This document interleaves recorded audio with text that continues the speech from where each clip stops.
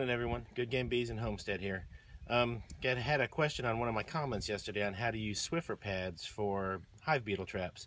You can use Swiffer pads, paper towels, um, any number of things. I like Swiffer pads because the fibers in there tend to catch their legs a little bit better and kind of hang on to them so they don't escape.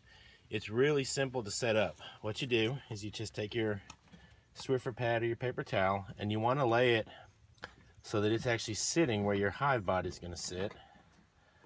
And what you'll actually do is take your hive body and you'll set it right down on top of it. That way it's down in there. You can see, if you look down in the box, you can see the Swiffer pad down there. What'll happen is the bees will drive the hive beetles down there and they'll get stuck. My nice dirty frames trying to look dirt rooster for you. You can do it on top of there also, on top of this body. You can do it between any supers or anything like that. Same thing, what you do is just kind of make sure you square up the frames first.